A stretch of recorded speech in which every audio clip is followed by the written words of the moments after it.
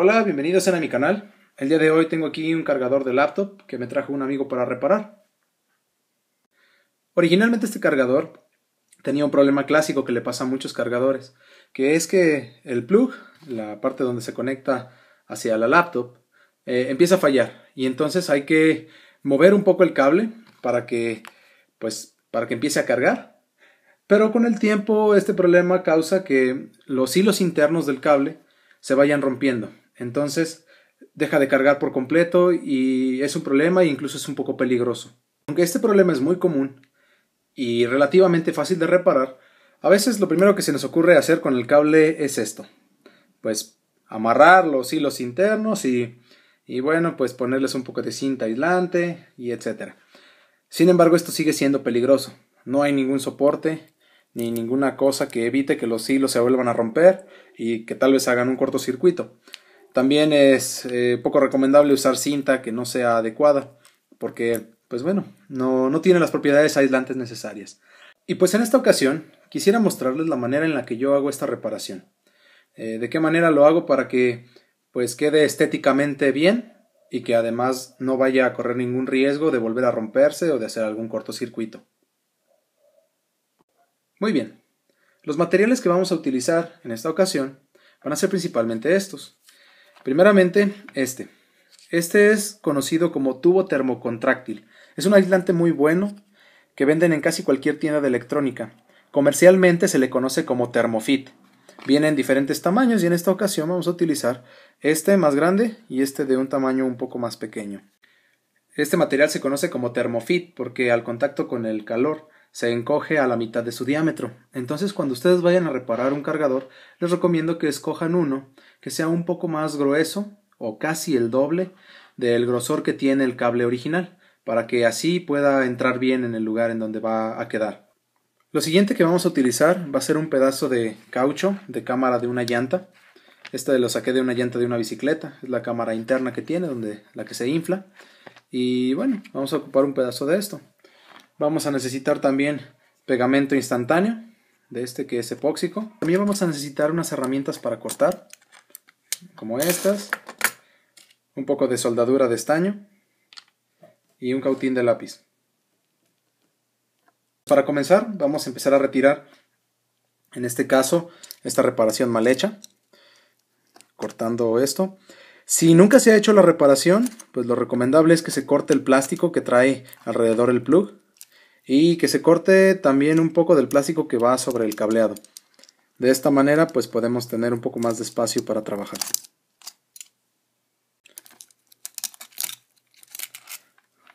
Muy bien. Como se ve aquí, pues el cableado estaba para empezar mal soldado y bueno, pues está bastante suelto. Obviamente por esto ya no hace contacto y, bueno, no, no, recarga la laptop.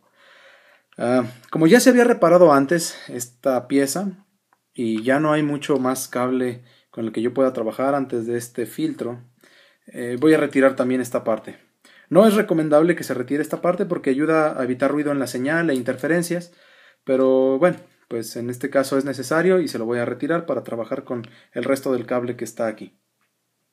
Muy bien, ya quité este, esta parte y pues solamente como opción, pues ustedes pueden intentar abrir esta parte, viene sellado completamente con plástico y hay que abrirlo para tratar de recuperar el cilindro de ferrita que viene adentro y si es posible volverlo a poner en el cable, si no, pues, pues bueno, lo omitiremos.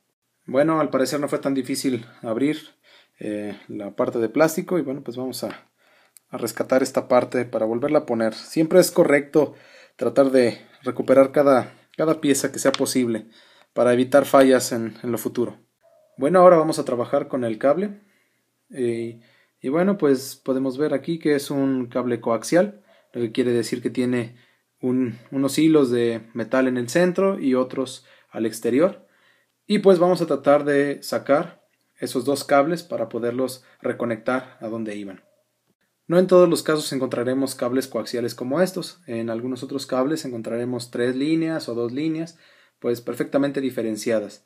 En este caso hay que hacer una conexión tanto para el exterior como para el cable interior. Bien, y ahora para empezar a trabajar con el cable, primero vamos a medirle unos 4 o 3 centímetros desde el final que tenemos cortado y con ayuda del cortador vamos a hacer un poco de presión y a rodar el cable. Esto nos va a ayudar a que no cortemos el cable completamente si es que no tenemos mucha práctica pelando cables. Así, no, no con mucha presión.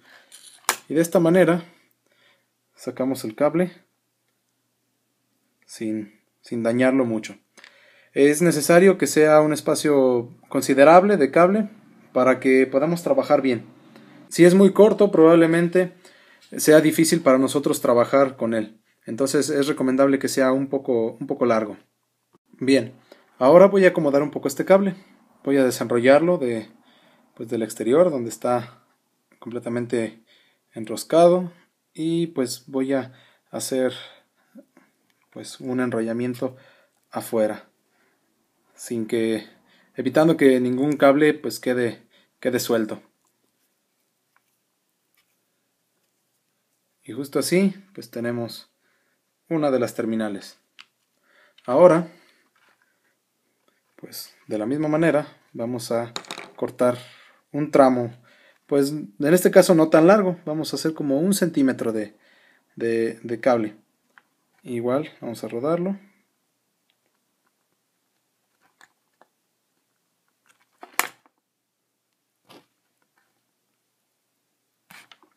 Y listo. Y también a enrollarlo.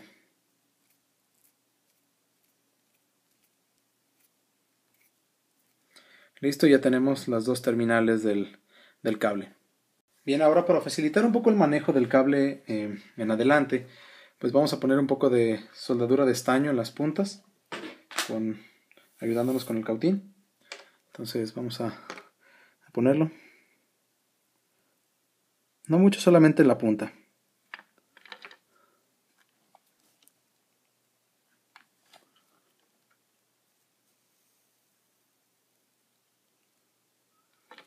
Muy bien. Ahora también hay que limpiar el plug de la soldadura vieja y las conexiones que estaban ahí antes. En este caso pues solamente se retira de aquí y de aquí. Ahora que ya tengo el plug y el cable listos, pues voy a poner nuevamente el cilindro de ferrita dentro del cable. Por ahora lo dejaré flojo y ya más adelante lo, lo pegaré. Y bueno, pues vamos a proceder ahora, ahora sí, a utilizar el termofit. Para saber qué cantidad de termofit vamos a necesitar, en este, en este caso, hay que ponerlo junto a las piezas que vayamos a unir. En este caso tenemos que la soldadura se va a hacer acá y el aislante del cable está aquí. No se necesita mucho más que ese espacio, únicamente este, este espacio y un poco más. Entonces me parece que aquí es lo justo para utilizar de material. Antes de hacer cualquier soldadura, hay que introducir el termofit en el cable que vamos a soldar y ponerlo hasta el fondo. Y entonces ahora sí, procedemos a soldar con el cautín.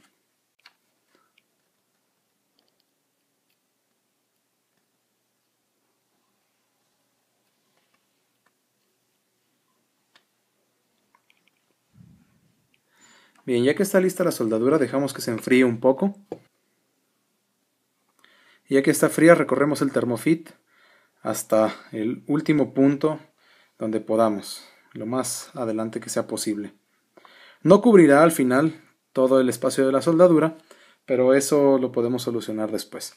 Ahora, con ayuda del cautín, vamos a encoger el, material. No hay que tocarlo directamente, únicamente con el aire caliente alrededor del cautín. Este toma su, su forma y, se encoge justo al tamaño del, del cable. Bien, vamos a poner un poco de termofit también en el otro cable, solamente para evitar que vaya a hacer algún contacto con esta parte del, del cable principal. Y vamos a soldarlo de igual manera.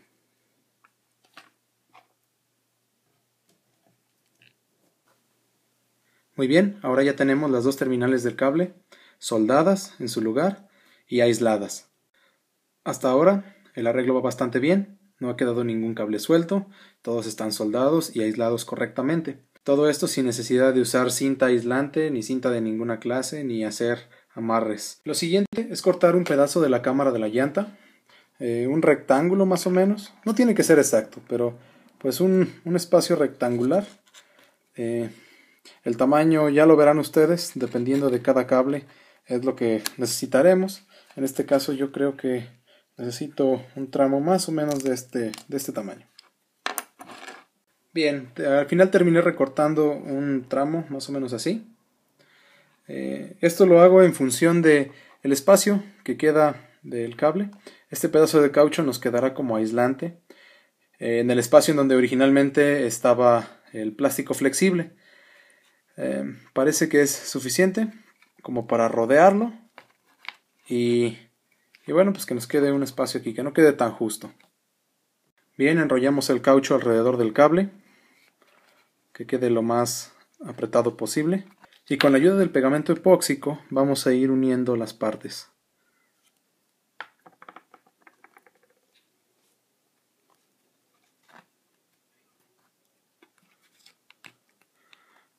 Hay que tener cuidado con los dedos, este pegamento se adhiere muy fácil a los dedos.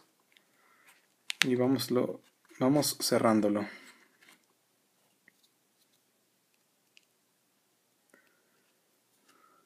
Es recomendable que el caucho quede un poco más dentro del cable, hacia la parte que no fue cortada, para que haya facilidad de movimiento.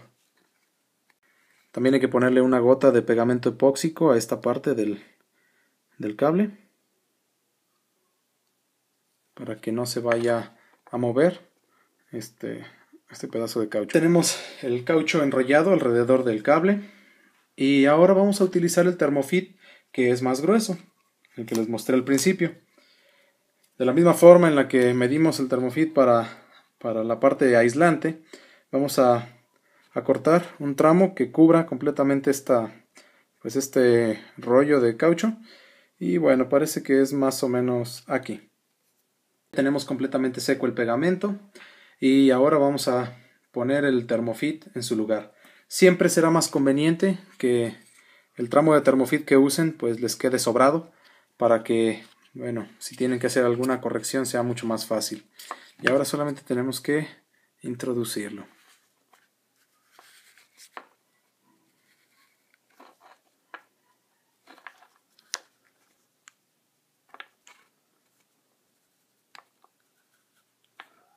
Bien, vamos a poner el termofit un poco adelante del caucho en la parte del plug Ahí. De igual manera, con el cautín vamos a empezar a contraer este material.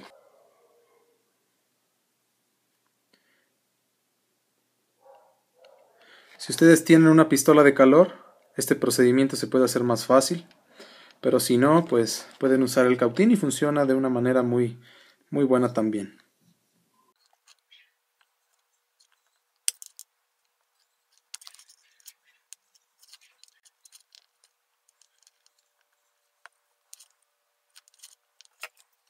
Bien, y ahora está terminado. En, en mi caso, le dejé bastante espacio en esta parte para que tenga flexibilidad. Yo por experiencia lo hago así, porque sé que si le dejo un espacio muy corto, pues se puede romper el cable y habrá que volver a hacer lo mismo. Ya solamente nos queda volver a poner el, cilindro de ferrita. Lo voy a poner aquí, lo voy a pegar con, con el mismo pegamento. Y eso sería todo. Como ven, el cable ha quedado ya terminado. Ahora tiene una presentación mucho más profesional, se ve bastante mejor y es más seguro. Y pues nada, si este video les gustó, me gustaría que me regalaran un me gusta aquí abajo. Si tienen alguna pregunta, duda o alguna eh, aportación, pues lo dejen en los comentarios. O si conocen a alguien que les sea útil este video, me encantaría que se lo compartieran. Y pues eso es todo. Muchas gracias y nos vemos.